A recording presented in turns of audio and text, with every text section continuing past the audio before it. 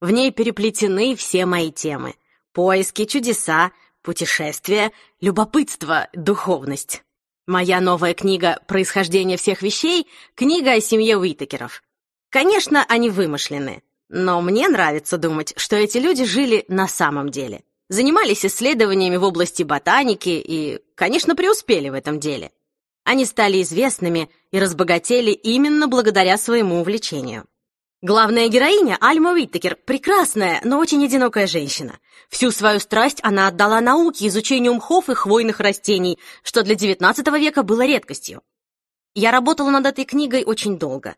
Это мой первый художественный роман. Конечно, получилась книга не только о любви или о ботанических исследованиях.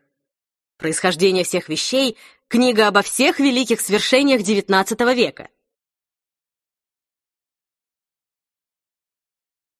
Элизабет Гилберт.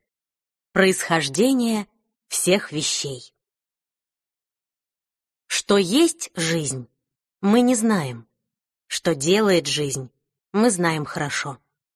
Лорд Персиваль. Пролог.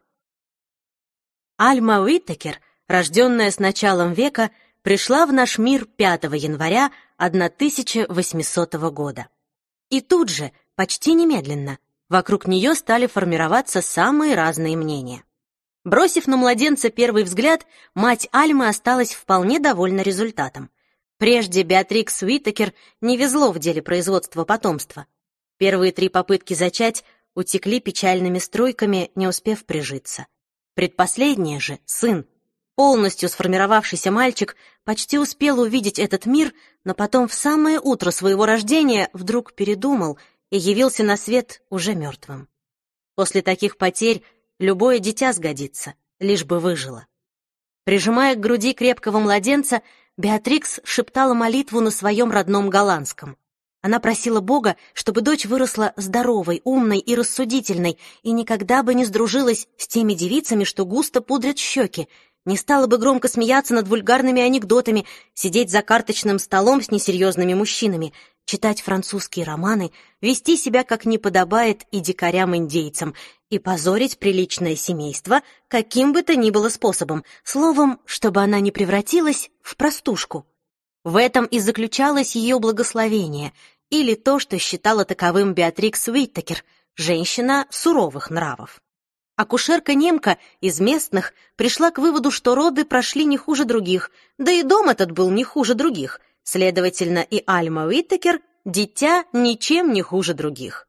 Спальня у хозяев была теплой, суп и пиво подавались без ограничений, мать держалась стойко, чего и следовало ждать от голландки. Кроме того, акушерка знала, что ей заплатят и не поскупятся. Любое дитя не грех назвать славным, коли деньги приносит, поэтому и она благословила Альму, хоть и без особых сантиментов. А вот домоправительница поместья, Ханнике де Гроот, считала, что радоваться нечему. Младенец оказался девочкой, притом некрасивой, с лицом, как тарелка каши, бледным, что твой крашеный пол. Как все дети, эта девчонка принесет много работы, как вся работа, это поди тоже ляжет на плечи Ханнике.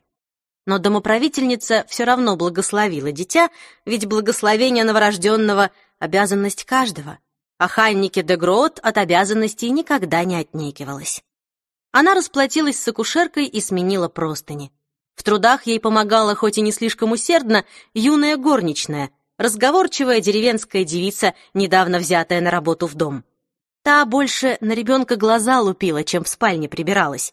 Имя девицы не стоит упоминания на этих страницах, так как уже на следующий день Ханники де Гроот уволит ее за бестолковость и отошлет обратно без рекомендаций. Тем не менее, в тот единственный вечер никчемная горничная, которой было суждено покинуть дом на завтра, ворковала с младенчиком и мечтала о своем таком же. Она тоже благословила Альму, ласково и от чистого сердца. Что до отца Альмы, хозяина поместья Генри Уиттекера, тот малышкой остался доволен. Весьма доволен. Ему было все равно, что родилась девочка, и притом некрасивая. Генри Альму не благословил, но лишь потому, что считал раздачу благословений не своим делом.